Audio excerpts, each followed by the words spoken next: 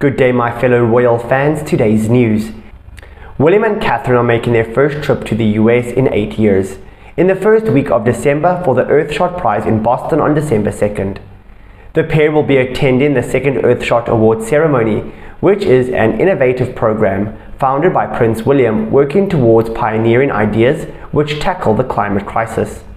Meanwhile, on December 6th, Meghan and Harry will be receiving the Robert F. Kennedy Ripple of Hope Award for their heroic work against structural racism.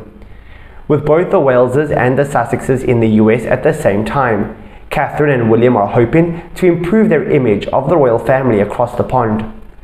Royal commentators have suggested that the royal family have not diminished in their popularity in the US following the Sussexes' move out there.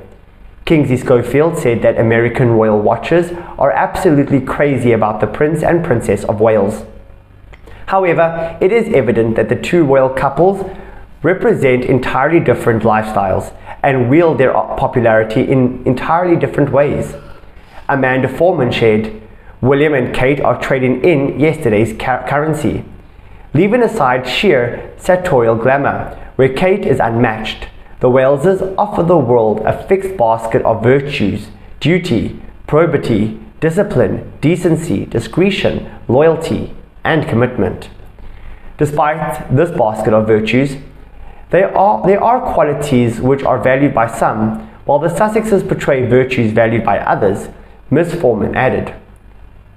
It is a worthy one, to be sure, and also totally fatal, in step with the values of the over 40 crowd, baby boomers, Generation X, and some millennials. But the Duke and Duchess of Sussex are dealers in today's currency, self actualization, self healing, self identity, self care, self expression, self confident, and self love.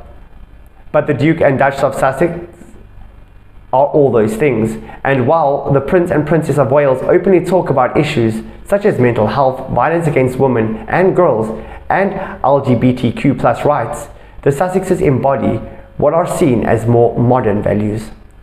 Their step away from the archaic institution of the monarchy to live in their new home in Montecito, California, only highlights the divide between the couples.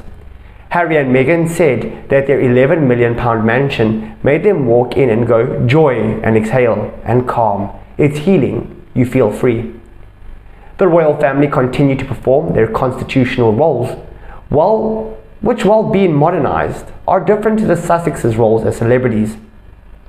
A palace insider said that William and Catherine are working on behalf of others versus being a celebrity. They were always famous, but now they've reached a different stage in their public lives. They're different types of figures entirely. Hmm, I agree 100%. What do you guys think? Leave your comments below, like and subscribe. Thank you for watching and goodbye for now.